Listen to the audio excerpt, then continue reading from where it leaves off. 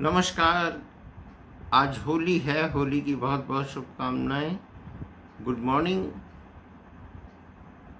आप जब कल्पना करेंगे कि बच्चे चीख रहे होंगे और रंग से पिचकारियों से रंगा जा रहा होगा तो ऐसा कुछ नहीं होने वाला है। कर्फ्यू लगा हुआ है। रंगों पे तालेबंदी कर दी गई है। और ये प्रशासन ने नहीं की है करोना ने की है और करोना ने इसलिए की है कोविड नाइन्टीन ने कि आपने अपनी ज़रूरतों पे तालेबंदी नहीं की है। अगर आप ये कर लेते तो पक्का ऐसा सिचुएशन ऐसी नहीं आ पाती। चलिए तो मैं बात करता हूँ रात हम बात कर रहे थे थिएटर के बारे में।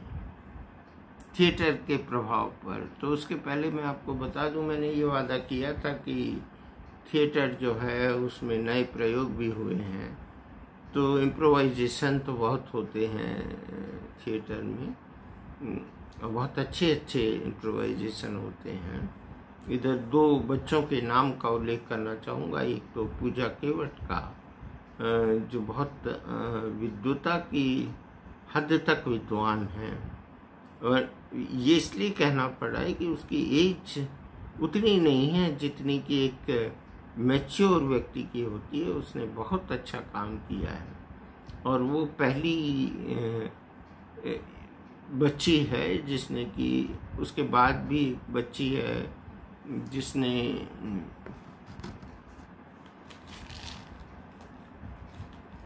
पूजा के अलावा स्वाति दुबे भी थिएटर को बहुत अच्छी तरह से उसका वो कर हैं और ये दो बेटियों के अलावा थिएटर में जो ज़बरदस्त चेंज आया है, उसमें नाट्य लोक संस्था का उल्लेख करना चाहूँगा, जिन्होंने डॉक्टर शिप्रा सुलेरे के एक जो बैंड बन गया है तो उनका एक ग्रुप था बच्चियों का, उस ग्रुप के साथ में थिएटर को म्यूज़िक पिट दिया।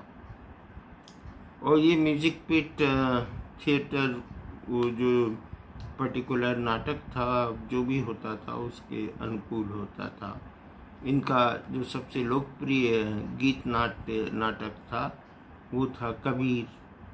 सुभद्रा जी पर भी केंद्रित उनकी कविताओं और उनके जीवन दर्शन पर आधारित एक नाटक, उसमें भी उन्होंने स्वर गीत का गायन किया। तो इस तरह से तीन ये मातृशक्ति की प्रतिनिधित्व करने वाली जो तात ने उनका उल्लेख करता हूँ, करना चाहूँगा। जब बॉबी का भोपाल में वो हो रहा था और यहाँ जबलपुर में भी उसका मंचन हो रहा था।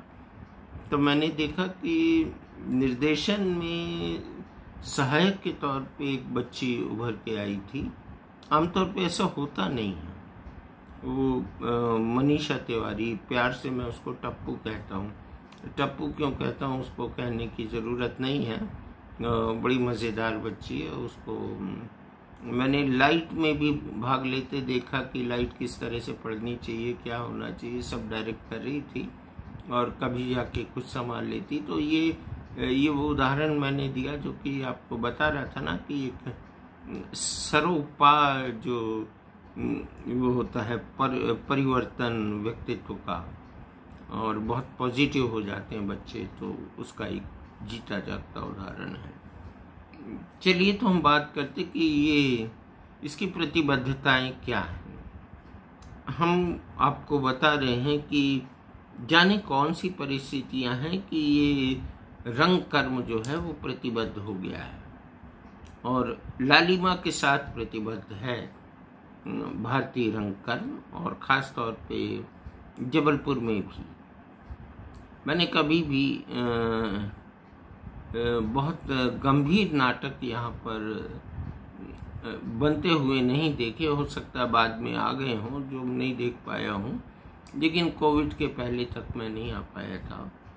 कई तो सीधे सीधे आक्षेप वाले नाटक हुआ करते थे। हाँ एक नाटक जो हम लोगों ने देखा है, वो बॉबी का ज़िक्र कर रहा हूँ, जिसमें बच्चे के एकाकीपन पर बहुत अच्छे तरीके से उसमें श्रेया ने काम किया था, बॉबी का मुख्य रोल लिया था। मेरा भी एक गीत उसमें लिया था, फुदक चिड़ैया हाँ और उसको उसमें शामिल किया था चिड़िया बात करती है।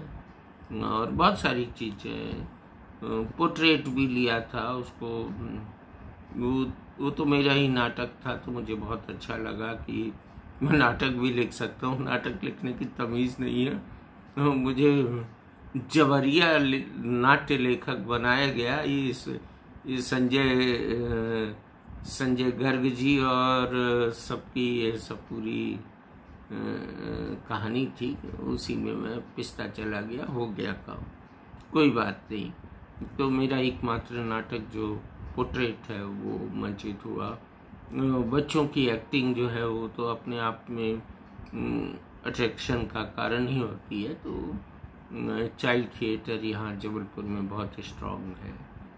लेकिन सामान्य तौर पे कमिटेड है। और कमिटेड होना ज़रूरी नहीं। किसी पर कीचड़ उछालने वाले नाटकों की आवश्यकता नहीं है। ऐसे थिएटर को करिए जिससे कि जिसे भारत की आत्मा कहा जा सके। भारत की आत्मा से निकली हुई अनुगुंज अनुगूंज कहा के रूप में समझा जा सके, सुना जा सके। लेकिन ऐसा नहीं है। सामान्य रूप से वही प्रताड़ना, वही ये समाज में सब जगह है। ऐसा भी नहीं है। कोविड काल के बाद देखिए कोई भी ऐसा नाटक नहीं आया। कि कितनी करुणा भरी थी लोगों के दिल में। उस समय किसी को ये नहीं था कि सरकार ने ये नहीं किया, वो नहीं किया। यहाँ तो मैं देख रहा था कि, मेरे मोहल्ले में अगर कोई डिलीवरी होती थी तो किस तरह से डिलीवरी होती थी, किस तरह से लोगों ने काम किया, उसको ऑब्ज़र्व किया मैंने। ऐसा थिएटर के रचनाकारों ने भी किया होगा। कहानियाँ बहुत सारी बिखरी पड़ी हैं। उनको, कोविड के बाद, कोविड तो एक बहुत बड़ा डिजास्टर है हमारे जीवन का, जिसके साक्षी हम हैं। तो हम लोग उस पर भी काम कर सकते थे, जो नहीं हो पाया। है हो सकता है कुछ लोग गुपचुप तैयारी में लगे हों। अच्छी बात है, लेकिन केवल विद्रोही बनना, केवल विद्रोह करना और केवल एक पक्ष को गाली देना या उसके बारे में अपशब्द कहना भला बुरा कहना मुझे नहीं लगता कि ये थिएटर का हिस्सा होना चाहिए। थिएटर का हिस्सा केवल फुहड़ता नहीं होनी चाहिए हास्य के नाम पे। और व्यंग के नाम पे किसी की का आ, किसी की गरिमा को गिराने की कोशिश नहीं होनी चाहिए। थिएटर चूँकि आप भरत मुनि से लेकर अब तक जो भरत मुनि वाला जो इंजन चल रहा है जिसके गाड़ी के डब्बे और उसमें जुड़ते जा रहे हैं। आप हम्म, देखिए कितने सारे कालिदास के नाटक हैं। हम्म, और भी नाटक हैं। इन सारे नाटकों को देखिए शेक्सपियर के नाटक हैं। उसमें भी काम हो रहा है, खासा काम हो रहा है। उत्तर प्रदेश में, बनारस में उस पर काफ़ी अच्छा काम हुआ है। कालिदास के नाटक पर अच्छा काम हुआ है। शेक्सपियर पे भी हुआ है। तो क्यों नहीं भारत का कालिदास? क्यों यूरोप का शेक्सपियर? मैं प्रतिद्वंदिता पैदा नहीं करना चाह रहा हूँ। मैं आपके इंटेलेक्चुअल होने के लेवल को चुनौती देना चाहता हूँ आज। बुरा ज़रूर लगेगा। सोचते होंगे कि इस तरह की बातें क्यों कर रहा हूँ, इस तरह की बातें इसलिए कर रहा हूँ कि बहुत सारे कैरेक्टर यहाँ बिखरे पड़े हैं। रानी दुर्गावती का एक चरित्र है, जिसने मुगल आज़म जो है, क्षमा करेंगे, मुगल आज़म नहीं कहेंगे, शहनशाह अकबर को चुनौती दी थी। उनके बारे में बात क्यों नहीं होनी चाहिए? उनके ऊपर कोई थिएटर क्यों नहीं होना चाहिए?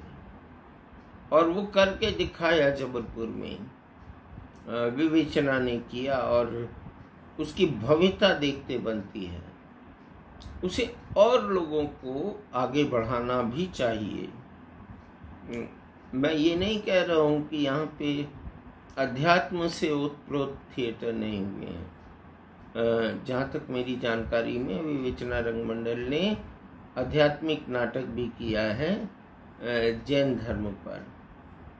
और उनके जो गुरुदेव हैं, उनके चरित्रों पर भी बात की है, उसे सामने निकाला है। तो मैं आपसे यही कहना चाह रहा हूँ कि इसकी पुनरावृत्ति बार बार होना चाहिए। जब शिवाजी का थिएटर जबलपुर में हुआ, शिवाजी पर, महाराष्ट्र का जो थिएटर का अल्टीमेट स्टेटस आप देखिए, बहुत ज़बरदस्त नाटक था, जिसका एक्चुअल में जो प्रॉपर्टीज़ थी, उसको बनाने में ही महीनों लग गए थे। उस समय डिजिटल युग भी नहीं था और रात में वो नाटक हुआ करता था और बहुत अच्छे तरीके से होता था। और उत्कृष्ट तरीके से होता था। उसे जबलपुर ने देखा संस्कारधानी ने देखा, संस्कार धानी कीमत करती है कलाकारों की। उनके बारे में सोचती है उन गंधर्वों के बारे में सोचती है। तो ये था कि आप कमिटमेंट ना रखें। लेखक के रूप में आप कमिटेड ना रहें किसी कमिटमेंट करें लेकिन कमिटेड ना रहें किसी के लिए किसी एक पक्ष के लिए।